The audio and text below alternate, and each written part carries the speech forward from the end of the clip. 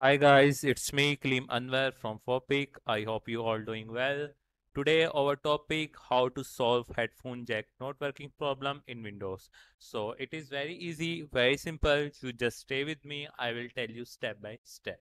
So first of all, you go on the search bar. Here you search troubleshoot settings open troubleshoot settings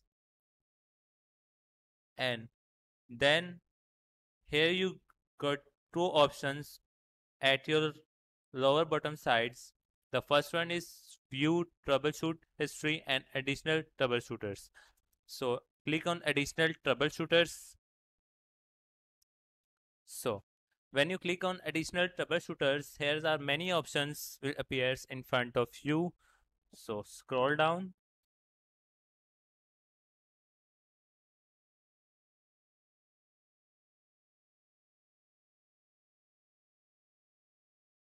So here you get an option recording audio. Click on recording audio. Run the troubleshooter. Here you can see that the problem was detecting. So here you can see next. So here you can see that this software will solve your problem automatically. So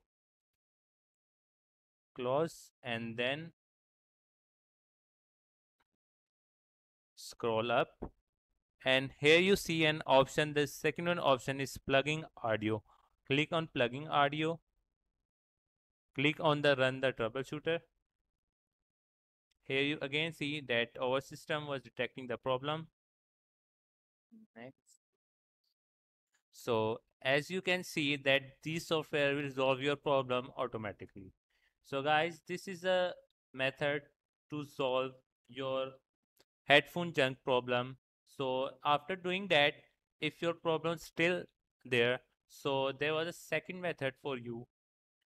You simply go on the control panel. Here you see many options. You go on the sound. Here you go on the speakers properties. So here you go on the enhancements.